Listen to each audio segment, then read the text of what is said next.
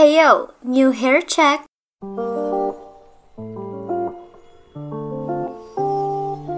Hello everyone, this is Callimara here. As you've probably seen from the title, today I will be redesigning Yandere Simulator's main protagonist, Ayano Aishi. If you watched my previous video where I talk about improving the game by getting rid of Infochan, you would also know that I am quite well versed and invested in the characters of Yandere Simulator. Although I will admit, I'm not the biggest fan of the game's lore, it's just too juvenile for my taste, shall we say, and I think it invests way too much time in building that lore instead of the actual game's playable story. Yandere Simulator has a lot of untapped potential. Where the game suffers most, in my opinion, is not in the playability, coding, or assets, but the very backbone of the game itself the narrative. This is why, despite the endless amount of lore surrounding the game, the story still feels shallow and the characters still feel one dimensional. I decided to take it upon myself to remedy these issues. I'm basically doing the same thing again today, but with Ayano specifically. I did divulge a little bit on how we can give Ayano a more active role in the game's story in my previous video, so if you want to go and watch that, please do so after this video. To summarize, I suggested the opening cutscene should have Ayano stalking Senpai instead of a text message from Infochan and finding out about Osana that way. And discovering her plan to confess to him at the cherry blossom tree and the cherry blossom myth itself should be discovered by doing investigative work such as asking around and building relationships with people replacing the scheme's mechanic with journal entries that are more prodding than hand holding, getting rid of the info store and scattering items around the school environment so that the player will do more exploration to find elimination methods and items, and recommending that there be more interaction between Senpai and Ayano to make us care about their relationship. But in order to reconstruct a character, we need to dissect them first and figure out where the issue is. Let's list some of the issues with Ayano that I would prioritize in a redesign and a rewrite. So the first issue I have is that Ayano is so boring. Yandere Dev has purposefully made her a blank slate so players can imprint themselves more easily on her, but that idea only works when the character actually has reactions and opinions on something, which Ayano doesn't. So we know that this approach isn't gonna work. Next is that her design is generic, because it is literally a character purchased from the Unity asset store with minimal modification and is therefore not a unique, marketable property of its own. Anyone can purchase the same asset and create a game with her as the main character, and Yandere Dev would not be able to claim legal ownership of it because it is a public asset. Finally, her backstory is just edgy, TM. Let's dive into this, shall we? Ayano has suffered from an inexplicable, incurable condition.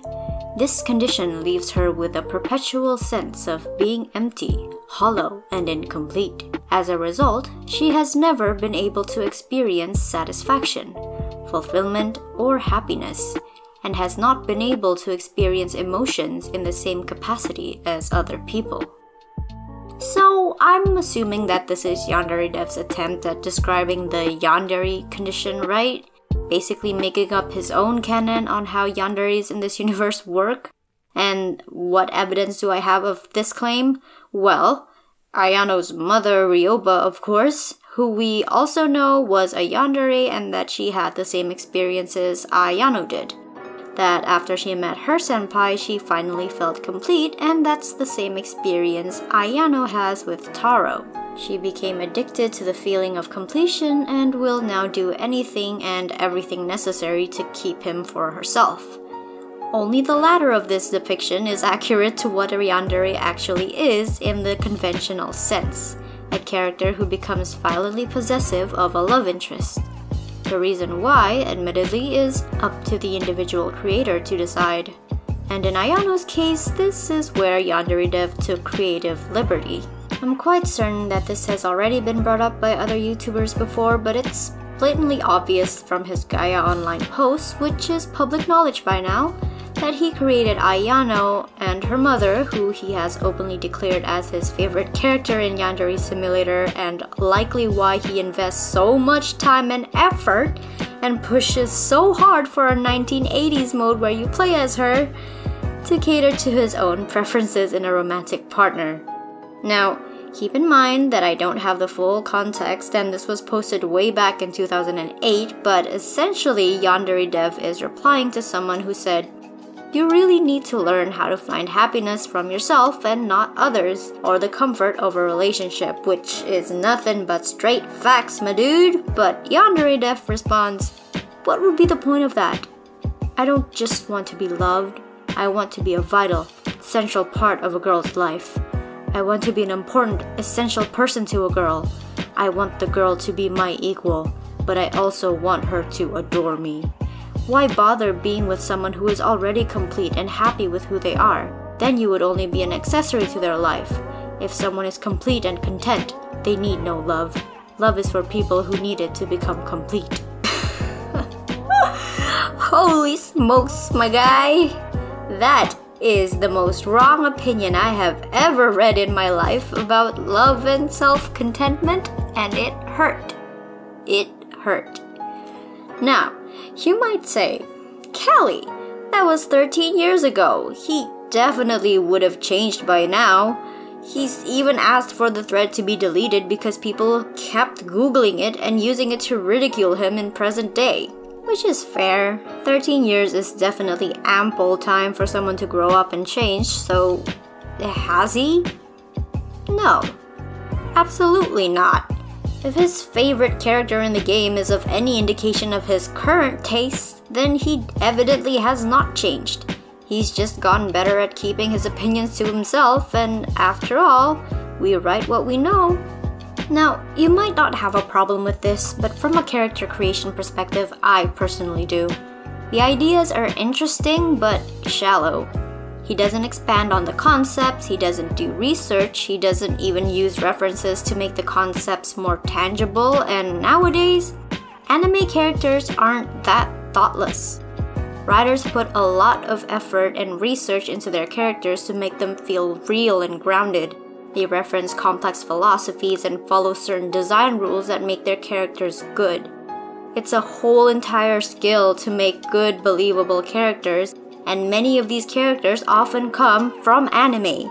So saying that Yandere Simulator is based on anime is blatantly not an excuse. If anything, it is super condescending and disrespectful to Japanese anime as a genre. Yes, there are trashy wish fulfillment anime out there that uses stereotypical tropes and plays up the one dimensional characters, but you'd also still call them trash anime. Trash is trash no matter the culture or genre. But based on these three points, I've created four goals for myself. First, give Ayano a more distinctive design. Second, rework her personality to make her more compelling as a character. Third, revise her backstory to make everything make sense. And fourth, implement these factors into the game. I've got my work cut out for me, so let's get right into it. Tackling Ayano's design, it has certainly become iconic over the years from a visual perspective, but it was never an original design to begin with. Not to mention, the uniform for which the character is most known for isn't even correct. All it takes is a quick Google search to find out that the seifuku or sailor uniform is worn by middle school students. It used to be worn by high school students, but today it is associated solely with junior high school students, whereas high school students or upper secondary students have more Western style plaid skirts or blazers. So the original uniform that the Aoi character came in was actually more accurate than the design Yandere Dev chose. That was one point I definitely needed to hit in my redesign, so I gave Ayano a blazer, plaid skirt, and ribbon tie instead of her seifuku. This leads us to our next trickier point her age. This is one of the main reasons I advocated so strongly in my Infochan video to get rid of the panty shot, kidnapping, and Yakuza human trafficking ring thing completely. Without these things, it would be more acceptable for the students to be below 18. In my head, it was either get rid of the inappropriate core mechanics that sexually exploited minors so that it would be acceptable for them to be minors, or change the setting to a university so that everyone is sure to be of age. Because in high school, there is invariably going to be kids of different ages, and the majority of them will be under 18.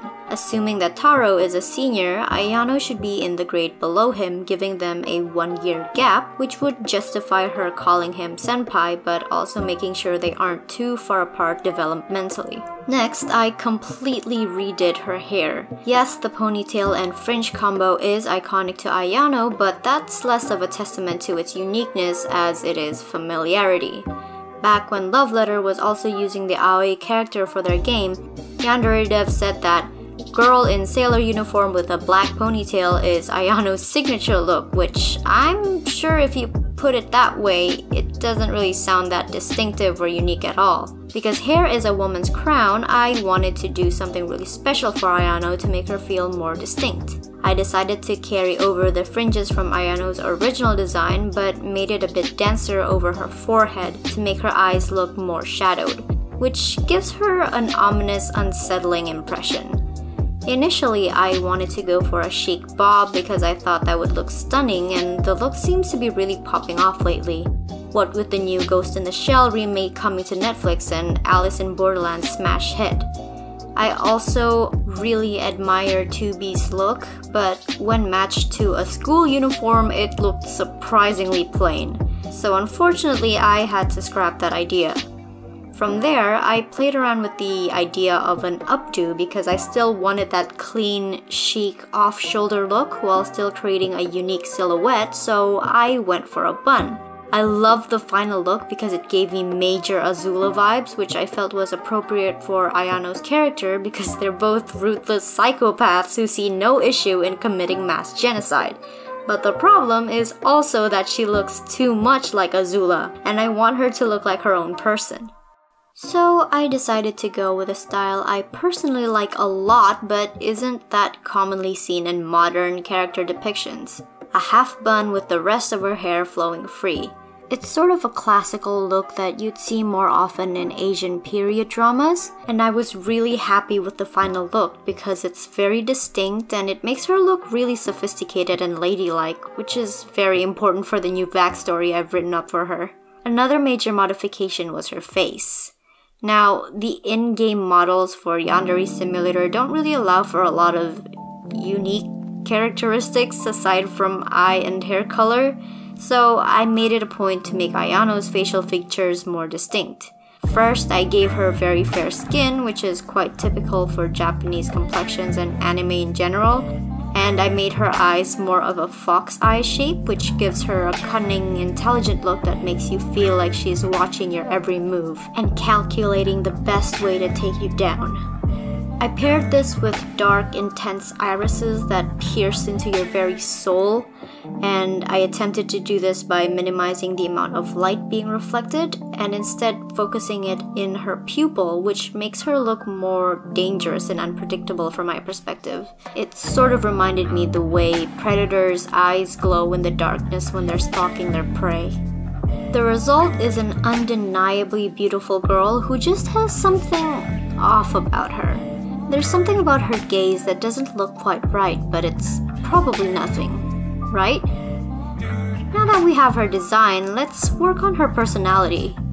I basically have complete liberty to play with this because the original was so purposefully designed to be boring. Although I am adhering as closely as I can to the yandere trope. So for Ayano, I've decided to go for a cunning, intelligent personality. She's resourceful, relentless, and unyielding. Ruthless and opportunistic, she's a quick thinker and a quick study who picks things up without much of a struggle, be it a skill or a subject in class. But her intellectual advantages come with severe emotional disadvantages. She is extremely apathetic and struggles to relate to others. She doesn't even understand her own emotions or how to deal with them, let alone how to deal with others. In fact, she gets quite frightened by how powerful her feelings are at times, and as a result, often tries to suppress them. One emotion she has the most trouble suppressing, however, is her feeling of possessiveness and her fear of losing those close to her. She has a desperate need to feel accepted and normal, but she has trouble letting others in. However, those who do manage to crawl under her skin, she forms extreme attachments to, to the point she has no issues manipulating, taking advantage of, tricking, or even severely harming others to do so. And now for her backstory. Strap yourselves in, folks, it's gonna be a long one. Also, for reasons that will be explained later on, I will start referring to Ayano as simply Yandere-chan. Yandere-chan is an orphan. She has a severe case of psychosis that was left untreated and undiagnosed, causing her to misbehave and do poorly in school.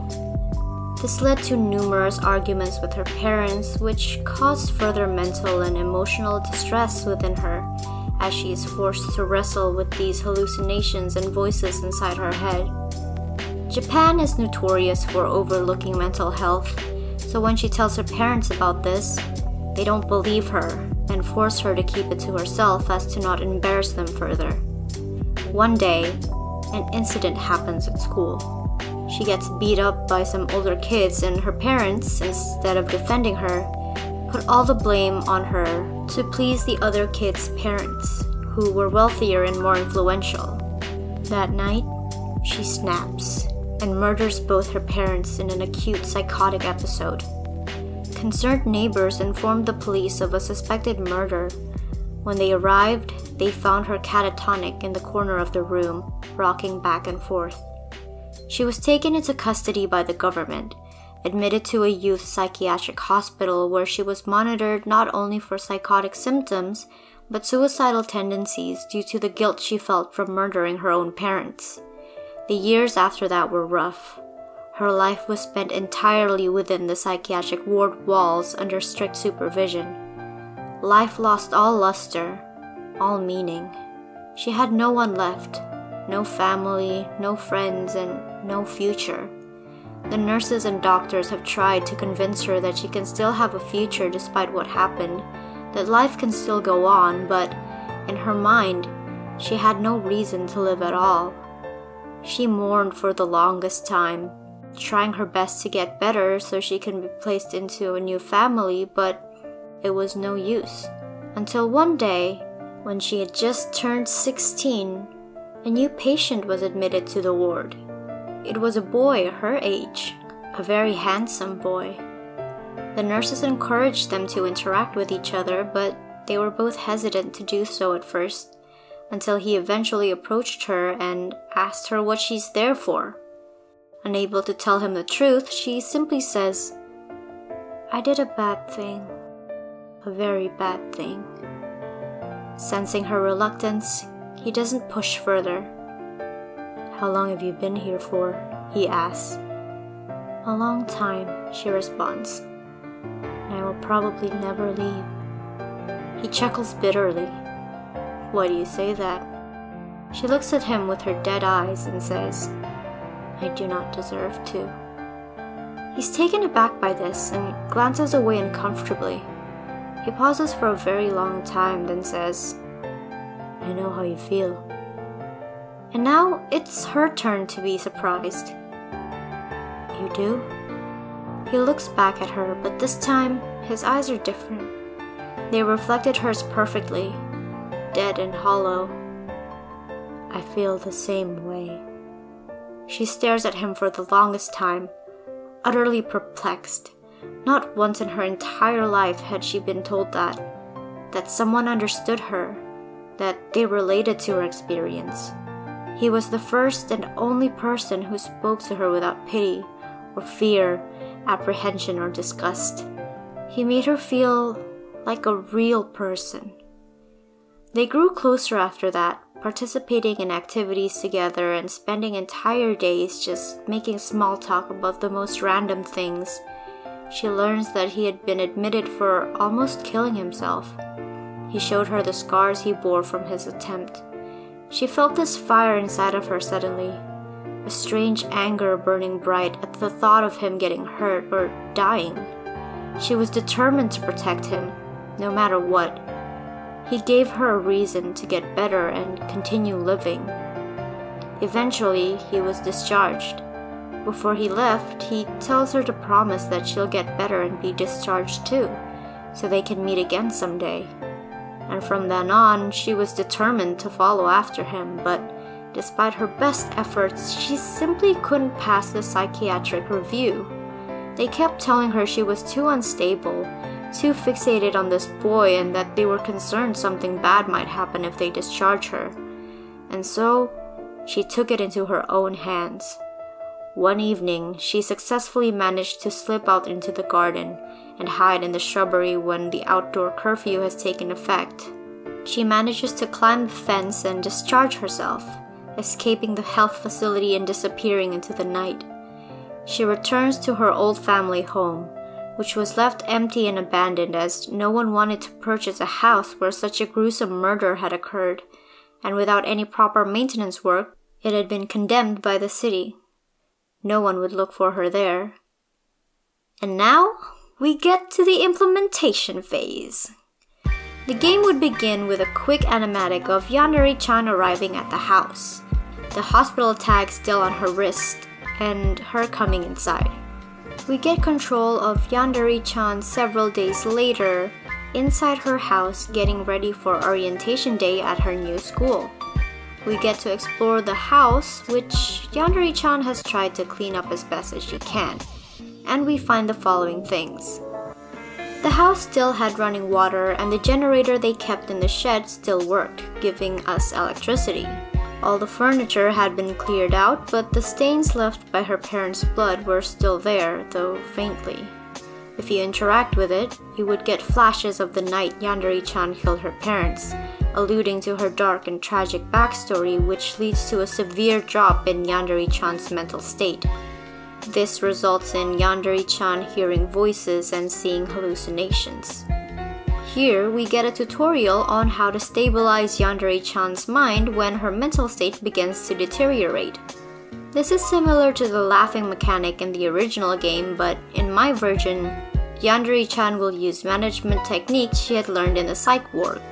It will be a variety of things such as deep breathing techniques, thinking pleasant thoughts or goals to motivate herself, which can also involve quick time events, and, throwback to my previous video, journaling.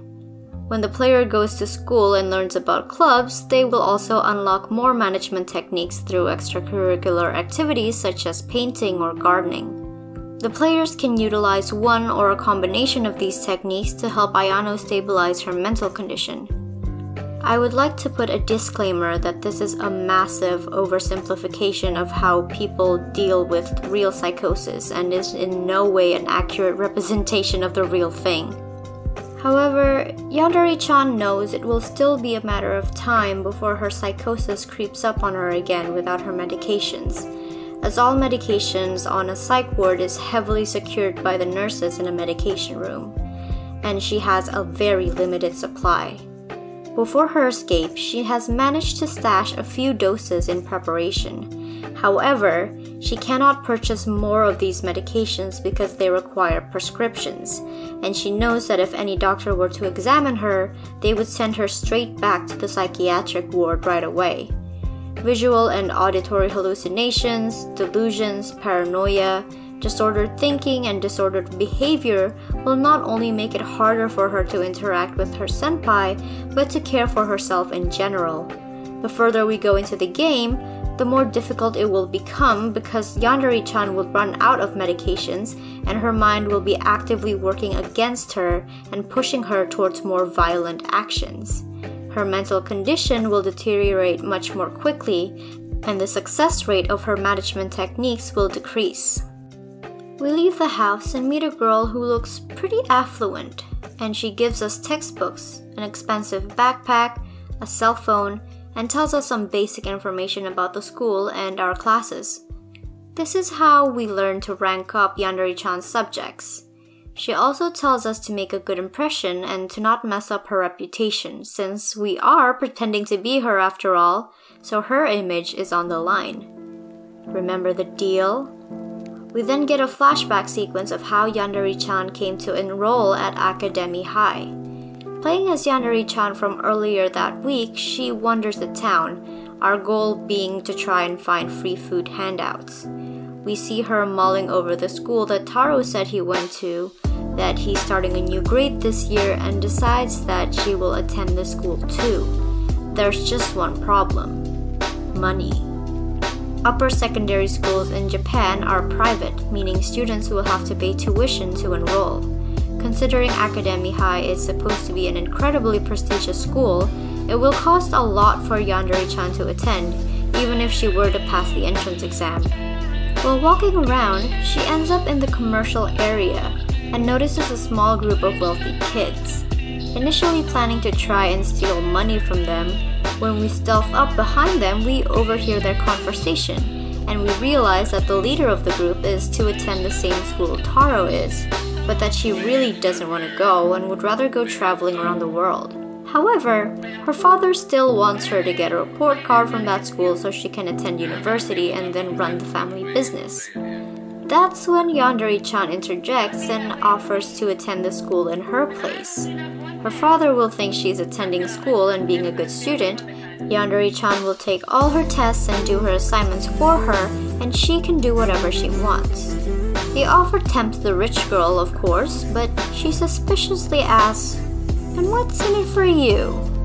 And Yandere-chan says, I'm just a poor orphan. Attending such a prestigious school would be a dream come true. Of course, I will need a uniform, textbooks, a mobile phone to contact you with in case anything happens, and money. The girl crosses her arms suspiciously. How much? Yandere-chan smirks deviously. Oh, not a lot. Just enough for lunch and new clothes. Maybe a haircut so I can pass myself off as you more easily, too. And with that, a deal was struck. I considered the idea that this rich girl is now our new info-chan in the sense that she gives us essential resources like money, who we can contact for guidance on the do's and don'ts of how to behave and some basic information on the school. A bit like our person behind the scenes, but much more scaled back. With this setup, we also have a stronger reason for why Yandere-chan has to be on her best behavior, do well in classes, and keep her reputation up because she doesn't want to draw any unwanted attention on herself. On top of that, if Yandere-chan were to act on her delusions and commit murder, getting caught has much more severe implications as she would immediately be found by the police and taken straight back to the psychiatric ward. We return to the current timeline where we nod in agreement to the wealthy girl's statement, then part ways. We go to school and attend orientation day with the drama club for basic mechanics like how to interact with objects, people, how to stealth, steal, kill, and dispose bodies. The rest of the game would go the same way I suggested in my previous video. We will get to interact with Senpai and get to know him, and occasionally at certain locations or moments, we would get flashbacks of Yandere-chan's murder of her parents, her time at the psychiatric ward, and her escape, which I think would be a fun little segment to play on its own. Of course, you're probably wondering now if we're pretending to be someone else to attend school, then who actually are we? Well, I'll leave that up to you guys to decide. Should Ayano Aishi be Yandere-chan's true identity or her fake one? What should her true or fake name be? Or should it be left unknown? Comment your suggestions in the comment section below. The suggestion I like best will be featured in my next video where I redesign and rewrite Senpai.